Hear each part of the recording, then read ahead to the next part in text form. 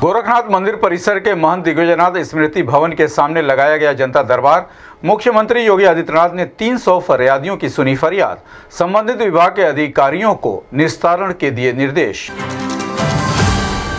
police अधीक्षक अपराध इंदु प्रभा सिंह की अध्यक्षता में एस जे पी यू और ए एच टी यू की आयोजित की गई मासिक समीक्षा समन्वयक बैठक, शासन द्वारा जारी एस ओ पी के विभिन्न बिंदुओं पर की गई चर्चा, दिए आवश्यक दिशा निर्देश